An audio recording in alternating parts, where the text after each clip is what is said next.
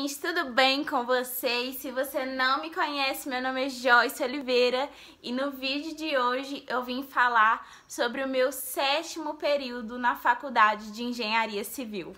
Se você não assistiu os outros vídeos e caiu de paraquedas nesse canal, eu já falei pra vocês como que foi o primeiro, segundo, terceiro, quarto, quinto, sexto período. E eu vou deixar todos os links pra vocês aqui na descrição desse vídeo, então é só você clicar. Aqui em descrição, vão estar todos os links lá e assista todos porque tem muito conteúdo, muita informação valiosíssima que eu tenho certeza que vai te ajudar, te dar um norte, te dar uma luz, te fazer se apaixonar ou odiar a engenharia civil para sempre. Brincadeiras à parte, mas você que já conhece esse quadro sabe que eu vou te falar quais são as matérias que eu fiz no meu sétimo período, como foi cada uma delas, o que que eu achei, né? O que se aprende basicamente, superficialmente em cada uma dessas matérias, como foram as minhas notas. Trouxe também para vocês alguns dos meus cadernos para mostrar, porque eu sei que vocês gostam de ver na prática ali. Então se você gosta desse quadro, desse tipo de vídeo falando sobre a engenharia civil, deixem o seu like aqui embaixo, porque é muito, muito, muito importante para mim. E se inscreve no canal. Mas chega de enrolação e bora começar esse vídeo logo. Como todos os semestres, no sétimo período, eu também fiz sete matérias. Isso vai depender da instituição, do curso, então não pega isso como uma coisa concreta que sempre vai acontecer. Vai depender aí de faculdade para faculdade, tá bom? Então, primeira matéria, eu fiz o ED de Políticas Públicas. ED é uma matéria 100% online, que você faz uma prova também online.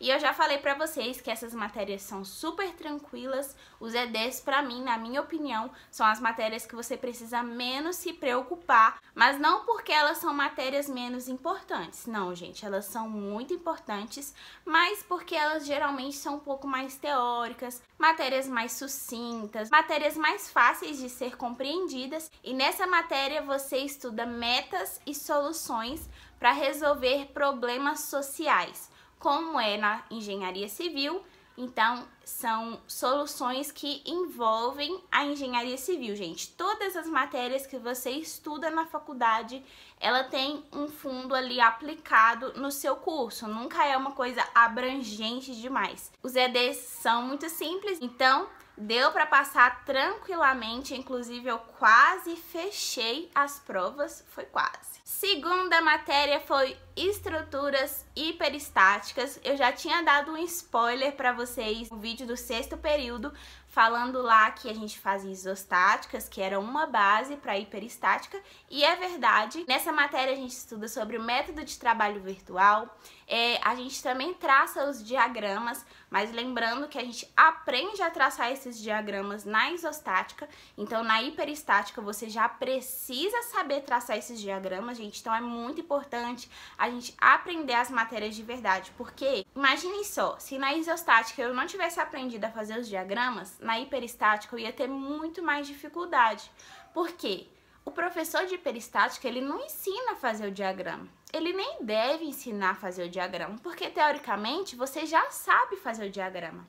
Você não pode fazer hiperestática antes de fazer isostática. Você precisa fazer isostática primeiro para depois fazer hiperestática. Não faz sentido você fazer em outra ordem. Então, quando você chega na hiperestática, você já tem que saber traçar esses diagramas, tá? Não vai deixar para depois não. Mas é super facinho.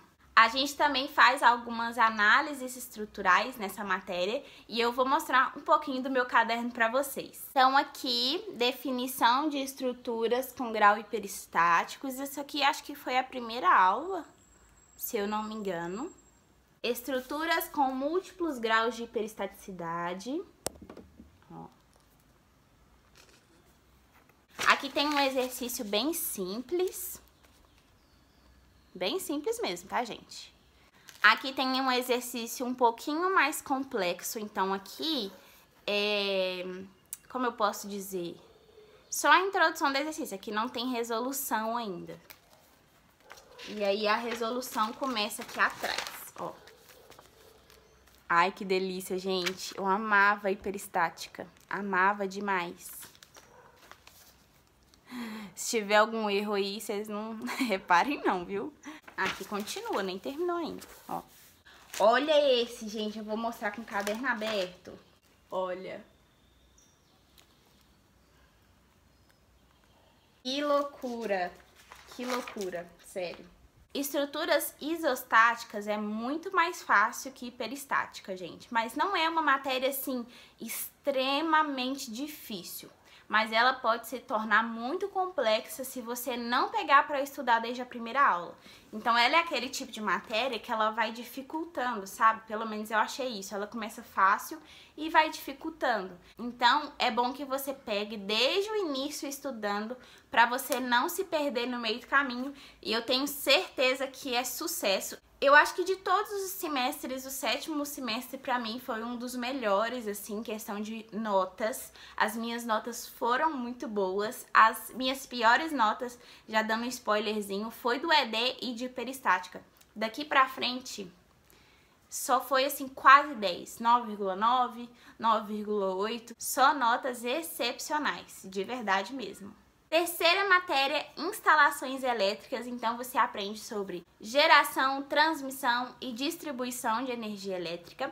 A gente aprende a fazer os cálculos, né, os dimensionamentos. E a gente também aprende muito sobre o desenho do projeto, aqueles símbolos utilizados, que é muito importante, né, para leitura de projeto.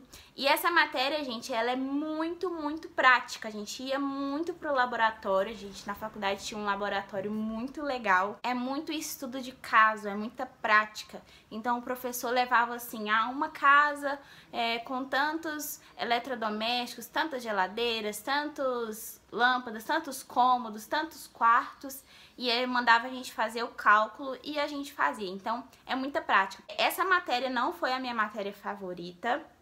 Eu não gosto muito da elétrica porque é uma coisa muito fictícia, é uma coisa muito imaginada. Sei lá, gente, eu não sei se é só eu que acho isso, mas eu acho que a elétrica é muito ilusão, assim, sabe?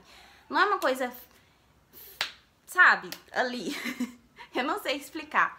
Mas por causa disso eu não gostava muito, mas a matéria era divertida, sabe? Fazer os cálculos era divertido, então acabou que a minha nota foi muito boa por causa disso. Quarta matéria, materiais de construção civil 2. Então, como eu falei com vocês, no sexto período eu fiz materiais de construção civil 1, então no sétimo, materiais de construção civil 2. E pelo próprio nome já diz, né, gente, que é a continuação do 1 é o 2. Então a gente estuda é, as características dos materiais, os tipos de materiais, como eu falei para vocês, mas o que eu percebi muito, pelo menos o meu professor, ele concentrou muito em concreto. Então a gente estudou muito sobre concreto. Então a gente estudou sobre as propriedades do concreto, tipos de aditivos, mistura, cálculo de dosagem. Foi muito legal. A gente fez uma aula de laboratório que a gente fez o cálculo do concreto. O professor dividiu a sala em grupos e ele deu uma resistência em MPa, né, para cada grupo. Se eu não me lembro, o nosso foi 45 MPa, se eu não estou enganada, 40, 45, uma coisa assim, era um valor bem alto. E a gente teve que fazer o cálculo do concreto para conseguir chegar nessa resistência. A gente teve que usar aditivo, porque senão ia acabar ficando uma farofa, porque não podia colocar muita água e a gente fazia o corpo de prova, né, em, em formato cilíndrico. E aí esperava o tempo de cura e depois nós colocávamos na máquina para estourar aquele corpo de prova e ver quantos MPa ele suportou e se a gente conseguiu alcançar os nossos objetivos. Então foi muito legal, a gente conseguiu. Foi muito legal, gente. Essa foi uma das aulas mais incríveis que eu tive, porque eu fiz desde o cálculo, eu não, né? Eu e meu grupo fizemos desde o cálculo até o ensaio de resistência. Então, foi muito bom. Como eu falei para vocês, eu tirei quase 10, eu quase fechei o semestre, então deu para passar tranquilamente. Quinta matéria, Tecnologia das Construções 1. E nessa matéria você estuda sobre as tecnologias, métodos, ferramentas existentes, né, para se utilizar na indústria da engenharia civil, da construção civil. Essa é uma matéria muito teórica, ela tem bastante teoria, então tem que ter um tempinho aí pra ler, mas ela é muito legal, muito interessante e deu pra passar tranquilamente. Sexta matéria, estruturas de madeira e estruturas metálicas. Sim, gente, na minha faculdade a gente aprende essas duas, esses dois tipos, né, de estruturas no mes na mesma matéria, no mesmo semestre. Do sétimo semestre, eu posso dizer que essa é a matéria mais difícil de todas. Quem já fez sabe ela é muito, muito, muito difícil e parece que, gente, eu não sei, a matéria mais difícil é sempre a que eu mais gosto. Não entendo. Eu amei demais. O cálculo é demais, é demais. Eu amei e eu vou mostrar meu caderno pra vocês. Então eu vou mostrar a minha primeira aula, porque a gente começou falando sobre estruturas de madeiras. Vou mostrar um exercício bem top aqui pra vocês. Cálculo de verificação de peça em estruturas de madeira. Então, esse cálculo aqui é verificando o banzo superior, ó, de um telhado. Verificação de vigas de uma passarela, gente, ó, isso aqui. Aqui eu tenho desenho de diagramas, tá vendo? Hiperestática atuando junto com estruturas de madeira, gente. Em muitos semestres da engenharia, você vai reparar que às vezes duas matérias elas se conversam ao mesmo tempo. Então, ó, diagramas aqui em estruturas de madeira. Continua o exercício. Loucura, gente. Eu amava essa matéria. Agora eu vou mostrar pra vocês um pouquinho de estruturas metálicas. Primeira aula de estruturas metálicas. Gente, deu até saudade de estudar. Aqui é um exercício de estrutura metálica, então tem desenhinhos. Tá meio bagunçado esse aqui.